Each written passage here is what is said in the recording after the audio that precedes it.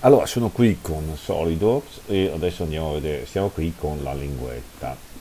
Ho provato a fare lo sformo, ok, e nel senso, mm, piano neutro, non so, 27 gradi, la faccia, quella lì, le facce che voglio sformare sono queste, gli dico ok, adesso vado a riattivarlo, lui mi sforma all'interno e se lo voglio all'esterno, mi eh, sforma all'esterno così, ok e vado e lui mi sforma la strada non succede la stessa cosa se invece uso no, non fa la stessa cosa o meglio fa a metà. Se invece lo vado a fare con i gradini con eh, vado sempre a fare sformo eh, scusate i gradini con la linea di divisione.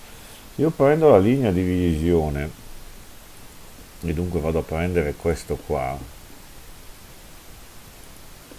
ok eh, direzione di trazione prendo questo. Vediamo se riesco. Questo qua. Allora a questo punto 27 gradi e lui me la allarga però non riesco a eh, facendo la stessa cosa non te lo fa con perché mi dice le facce di sfumo non possono essere perpendicolari alla direzione di trazione le facce di sformo. Perché? Boh.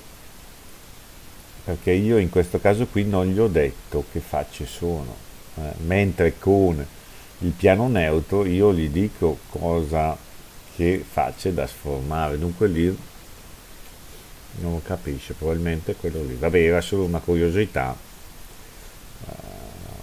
perché io ho sempre pensato che linea di divisione fosse il top però certe volte non funziona dunque bisogna fare col piano neutro.